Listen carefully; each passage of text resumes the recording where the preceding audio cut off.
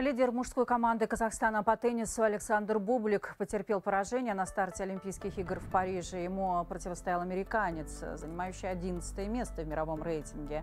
Бублик проиграл со счетом 6-4, завершив выступление на Олимпиаде в одиночном разряде.